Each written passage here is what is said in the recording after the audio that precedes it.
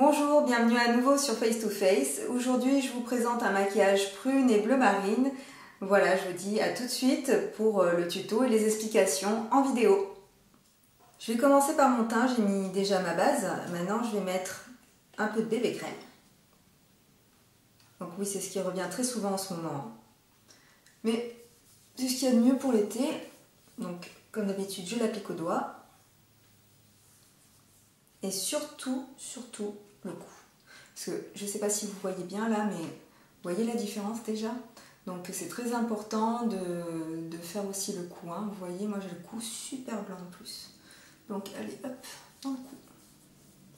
Voilà, maintenant que j'ai mis la bébé crème, maintenant je vais mettre un petit peu d'anti-cerne parce que, comme on dit depuis quelques temps avec Émilie, la bébé crème ne camoufle pas les cernes. Donc un petit peu d'anti-cerne, je mets Maybelline le Fit Me, donc le numéro 20. Et là, je l'applique au doigt.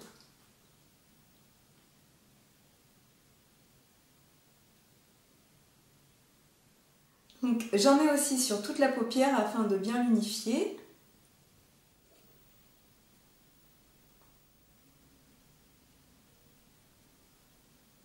Je peux aussi en mettre un petit peu sur les nasogéniens ici. Ça apporte de la lumière, ça permet aussi euh, de faire un peu disparaître les ombres. Et comme j'ai une petite tache ici, alors c'est une tache de rousseur, mais euh, je trouve que ça fait euh, pas très très joli. Alors je l'estompe un petit peu. Je sais pas de la camoufler complètement, mais juste je l'estompe un petit peu avec de l'anti-cerne. Donc les nasogéniens, ce sont les plis qu'on a ici. Et bien souvent, c'est creusé chez les gens. Donc ça crée une ombre. C'est pas toujours... Enfin, il y en a qui ça va vraiment très bien parce que euh, certaines personnes ont de très belles pommettes. Et d'avoir ce petit euh, sillon euh, nasogénien un peu creusé comme ça, c'est très très joli. Sur moi, ça ne l'est pas. Donc, je le camoufle. Enfin, je le camoufle. J'apporte de la lumière. Hein. Voilà. Et je fais aussi un petit peu le contour de mes lèvres parce que j'ai un peu de la pigmentation qui déborde ici.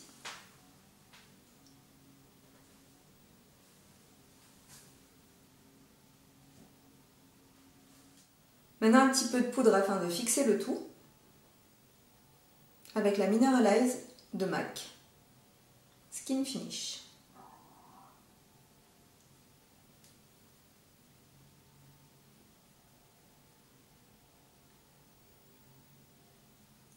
Et avec un gros pinceau à paupières, je poudre aussi le contour des yeux J'oublie pas le dessous de l'œil. Là, euh, c'est vrai qu'en dessous des yeux, on a beaucoup de plis aussi. Donc c'est important de poudrer, mais attention, pas trop, on y va avec une main très légère. sinon, ça va marquer. Hein.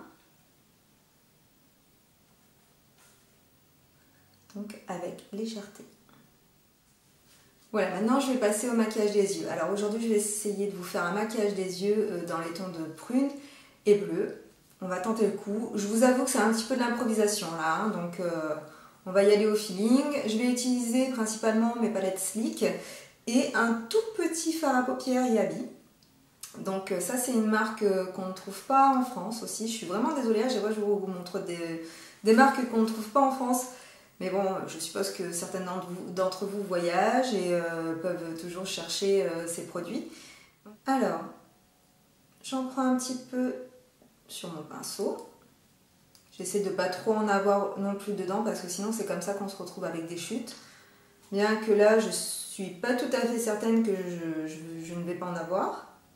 Je commence par le ras des cils inférieurs.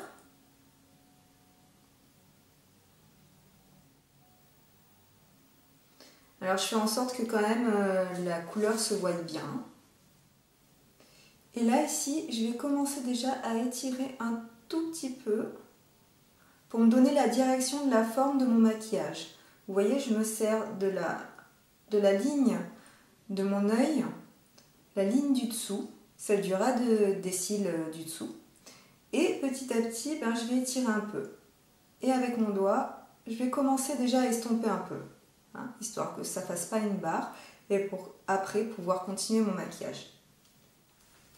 Une fois que j'ai fait cette ligne, avec un pinceau, boule, j'estompe un petit peu.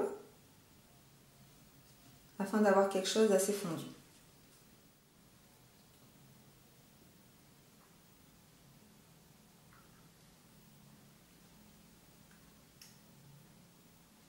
Ok, maintenant que j'ai fait les deux yeux, que j'ai bien fait le trait qui va vers la direction de la fin de mes sourcils, je fais le dessus de l'œil.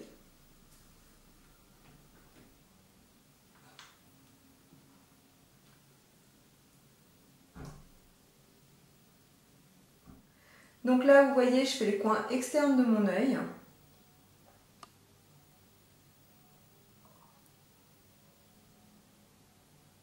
Je commence à monter ma couleur.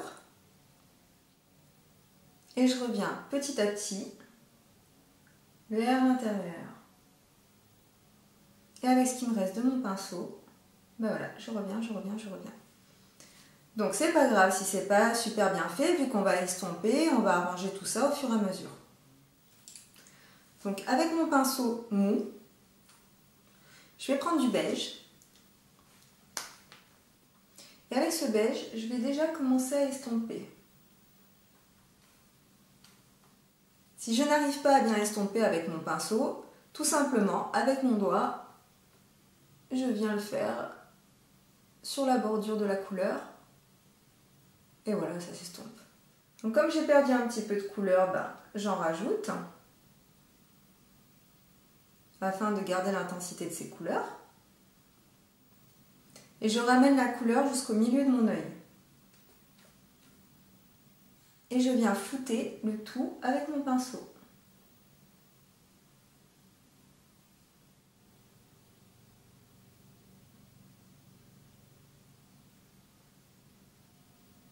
Et je ne sais pas si vous voyez bien, mais du coup, ça m'aide à savoir où je commence. Le trait que j'ai fait tout à l'heure m'aide à savoir par où je commence.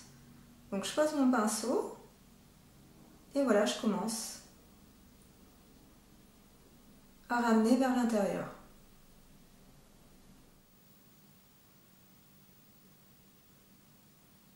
Et j'étire bien vers l'extérieur. Pour estomper, je reprends mon pinceau avec du beige et je viens à la fin ma couleur prune l'estomper. Je fais pareil ici. Donc avec un, crayon, euh, c'est pas vraiment un crayon, mais on va dire c'est une mine comme un crayon euh, de chez MAC. Donc qu'est-ce qu'il y a écrit là-dessus? Il y a écrit Eyeliner Cajal. Donc c'est de chez MAC et euh, ça s'appelle Auto de Blue. Donc je pense que c'est le nom de la couleur. Alors je vais le mettre comme un eyeliner en ras de cils supérieur.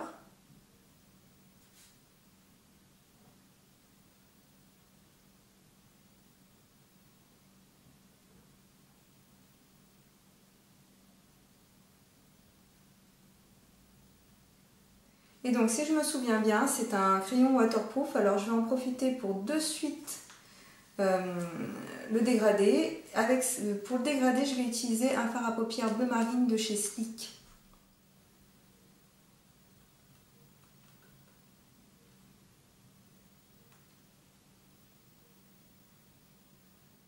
Donc vous voyez, je le dégrade petit à petit avec mon pinceau et mon fer à paupières. Et maintenant, je vais finir de le dégrader avec mon prune. Donc je reprends mon pinceau que j'ai utilisé pour déposer le prune sur ma paupière et je viens dégrader. Donc comme dans tous les dégradés, on vient le faire à la fin de la couleur. Alors quand je dis la fin de la couleur, imaginez vous avez un trait et vous avez la couleur qui monte. Et vous venez dégrader en fait à la fin au-dessus, sur euh, ici. Vous voyez?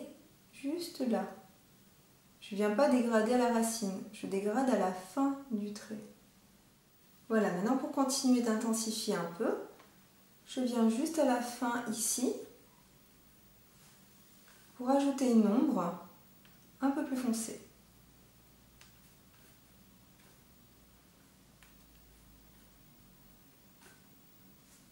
Maintenant, je vais faire le ras de cils inférieur.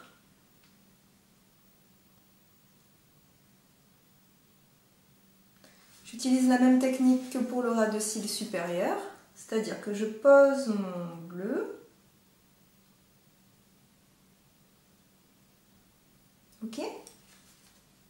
Avec mon pinceau bleu où j'ai mis du fard à paupières, je dégrade.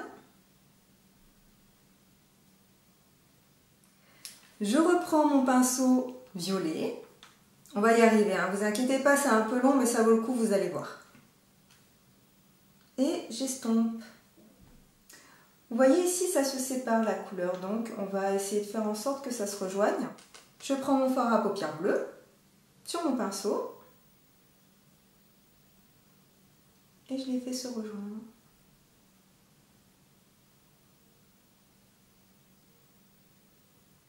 Alors, je vais faire le deuxième œil hors caméra, euh, comme ça cette vidéo ne durera pas une éternité et euh, on passera ensuite à comment poser son mascara. Je vais maintenant maquiller mes cils. Alors, je pose la racine des cils, je remonte en zigzagant. Je fais pareil de l'autre côté. Je pose la racine des cils, je fais des zigzags et je remonte. Je vais aussi intensifier un peu plus en mettant du, du bleu à l'intérieur.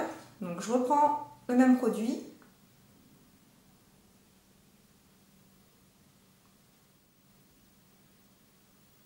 Je fais pareil de l'autre côté. Alors vous voyez, c'est un maquillage assez étiré au niveau des yeux, un peu plus étiré que ce que je fais d'habitude. Et là, vous voyez, en fait, mon sourcil n'est pas assez long pour le coup. Alors, je vais euh, le redessiner et ensuite l'allonger un tout petit peu. Pas trop, parce que sinon, ben, on le verrait, ça ferait pas très très naturel. Euh, donc euh, voilà, je vais le faire avec du fard à paupières, encore une fois. Donc je mélange un peu de marron, un peu de gris, un peu de noir.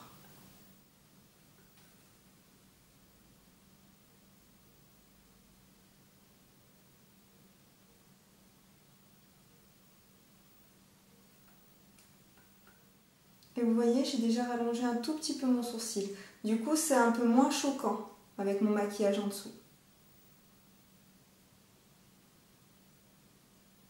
Et maintenant, pour mettre en valeur ce maquillage, je vais mettre un petit peu de blush. Donc je fais un mélange de trois blushs de chez Yabi. Un rose un peu clair, un rose un peu plus, euh, un peu plus vieux rose, ainsi qu'un rose un peu corail je fais un petit mélange des trois, des fois ça, ça donne un truc super bien. Et je mets ça sur mes joues.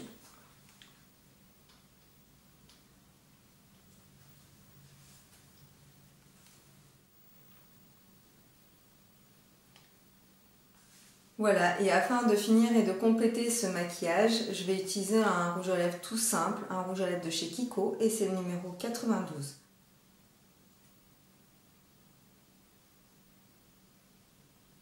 Donc comme c'est un rouge à lèvres très clair, je ne mets pas de contour.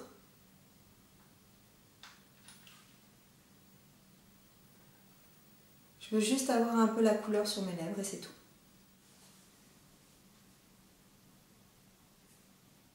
Voilà, le maquillage est terminé. Je vous dis à très bientôt pour un autre tuto. Au revoir.